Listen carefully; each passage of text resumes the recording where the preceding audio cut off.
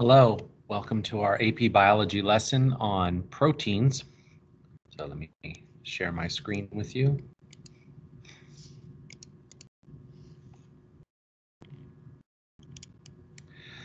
So proteins, as you see here, they have this elemental composition where they contain uh, large amounts of carbon and hydrogen, but then also um, oxygen, nitrogen, and sulfur.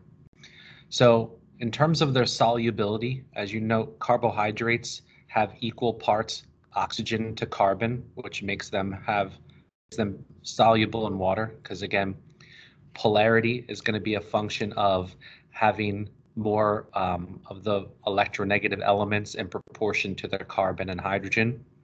So having equal parts oxygen to carbon makes carbohydrates more soluble. Um, the if you kind of break this proportion down, you get basically eight, eight parts of this to then almost equal parts of oxygen plus nitrogen plus sulfur. They're not quite in combination as pol polar as oxygen would be, but they still have some polarity. Um, so proteins are, uh, in general, soluble in water. Proteins are going to be folded polymers of amino acids. And amino acids all have the same basic structure here. They're going to have a central carbon, and then they're going to have a hydrogen coming off of that central carbon. And then they're, they're going to have two functional groups that they all will have in common, the amino group and the carboxyl group.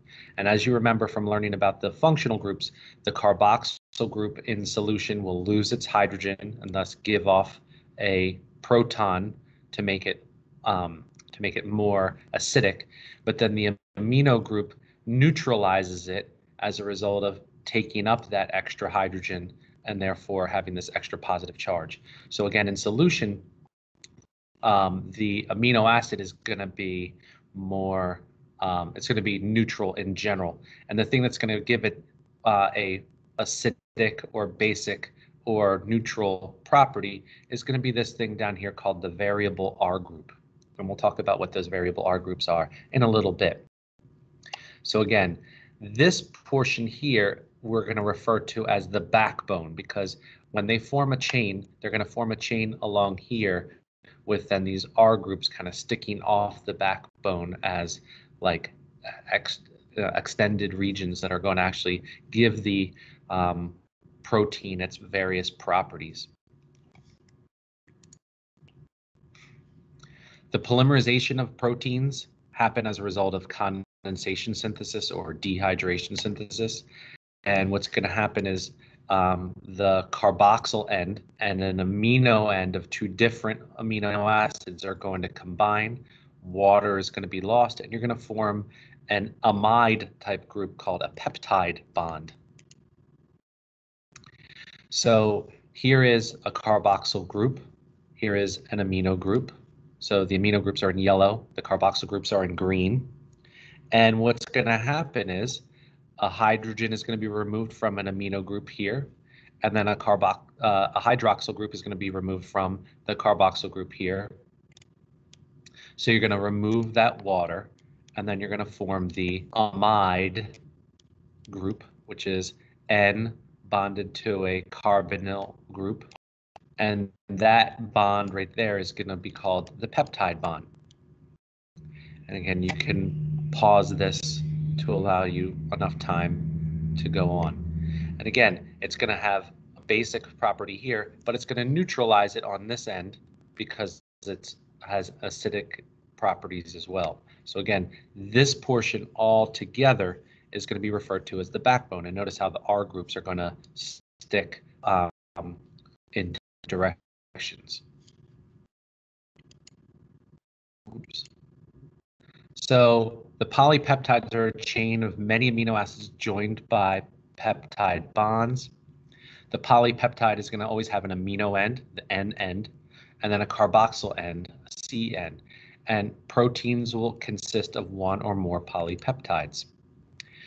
The R groups are going to have four different properties.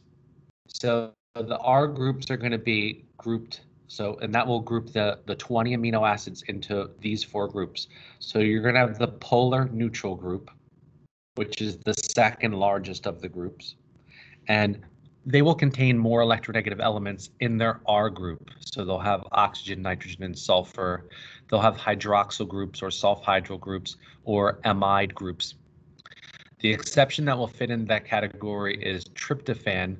Um, the N that's in the hydrocarbon ring gives it slight polarity.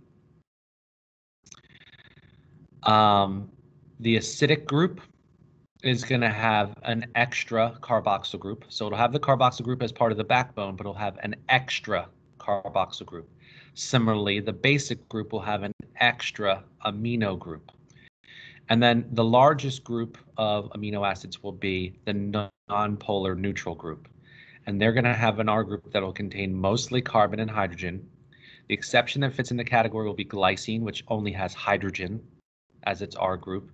And methionine will have an interior sulfur, so the charge is more dispersed. So even though there is a sulfur in there, it's not going to give it as much polarity, and therefore it will fit more in the nonpolar group. So if we look at each of the different amino acids, so the ones that I have colored in um, blue are going to be the basic ones. The ones in pink are going to be the acidic ones. So you can see they have the extra carboxyl group. So here's the main carboxyl group. They have the extra one here extra one here. So it's glutamic acid, aspartic acid. The basic ones would be histidine. So you can see it has the extra, um, the extra amino group. Um, lysine, extra amino group. Arginine, extra amino groups. Whereas like glutamine, this looks like it has an extra amino group, but this is an amide group, which just gives it polarity. Tryptophan this looks like it should be basic, but because it's got um, the internal portion here, it doesn't really have enough to overcome the amount of um, of other things around it. So they basically consider tryptophan just pol polar instead of basic. Okay, again, here's another one that has an amide group, so it's just going to be polar. Then all the yellow ones are going to be nonpolar. So you can see they just have carbon and hydrogen, carbon and hydrogen. Methionine was that one exception one. Carbon and hydrogen, carbon and hydrogen. Again, not counting the backbone. The backbone is the part that's not colored in.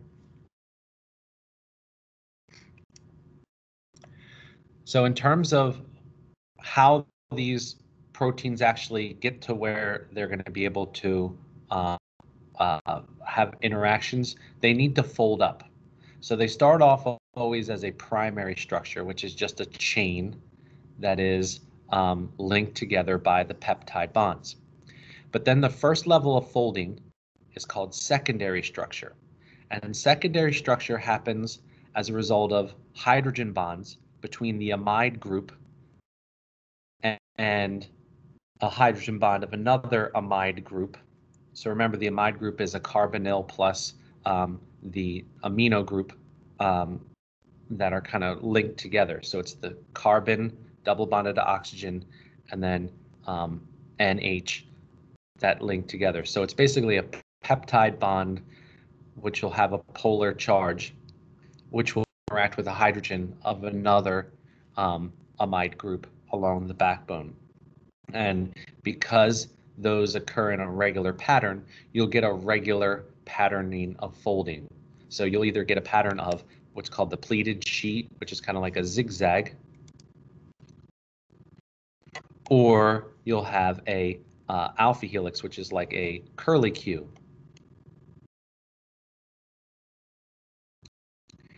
So alpha helixes, they form more hydrogen bonds, whereas beta sheets, they form fewer hydrogen bonds. In terms of proteins you might be familiar with, silk is very rich in beta pleated sheets whereas your hair is more um, rich in alpha helixes.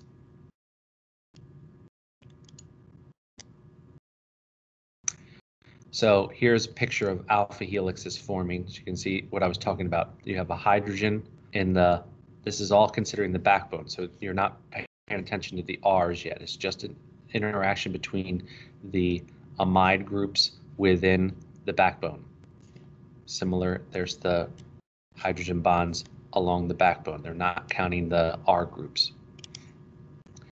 A tertiary and quaternary structure is where you do have interactions between R groups. So tertiary, it's R groups within a single polypeptide. Quaternary, it's R groups interacting amongst multiple polypeptides. And we'll also mention that in the formation of, of quaternary groups, oftentimes you have prosthetic groups. So if you remembered what I talked about, that you could have iron, zinc, molybdenum, and manganese, these are all going to be um, ionically bonded elements that are going to be found helping to hold the whole thing together. Um, tertiary structures are going to be formed as a result of covalent bonds, um, hydrogen bonds, ionic bonds, and hydrophobic bonds between uh, hydrophobic interactions between different R groups. So covalent bonds happen between sulfhydryl and sulfhydryl groups. Hydrogen bonds happen between polar neutral groups. Ionic bonds happen between an acidic group and a basic group. And then hydrophobic interactions happen between nonpolar groups. And again, hydrophobic interactions only happen when uh, a protein's actually in solution. And as this says here, a tertiary structure is the minimum folded structure to be functional. So if it loses its tertiary structure, it loses its functionality. And then finally, you have the um, quaternary groups. And as I said, it's similar R group interactions, all the ones that we just talked about before, um, except oftentimes you have um, prosthetic groups or other um, other things that are going to involve putting this stuff together. So like non-protein molecules that'll be in there. So heme is an example of a non-protein molecule that also contains iron. So it's not just iron, but it contains a, a ring-shaped structure that holds the iron in place and that will interact with the the four different globin proteins to make it hemoglobin. So here's a picture of hemoglobin in like a computer model type way. Now, in terms of how those interactions happen, so here's a picture of the formation of the different interactions. So there's the sulfhydryl uh, groups interacting to form a covalent bond. This is the ionic bond. Here's a hydrogen bond, and then this is the hydrophobic interactions. So R groups need to be arranged in a particular fashion in order to carry out a function. So for example, in a protein that acts as a channel through a membrane, you might see something like this, where all of the non-polar R groups are found in the region that will span the membrane because the tails that are non-polar, it's going to interact in that way. And then on this side of the of the protein, you'll have different um, um, types of R groups over here, whereas you'll have different types of R groups over here, and more of them will be polar on both sides to allow it to be able to interact within the cytoplasm.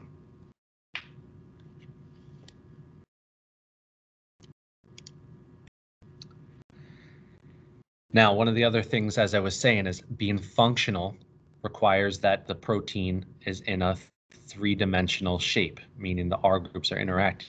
One of the ways in which a protein becomes non-functional is through what's called denaturation.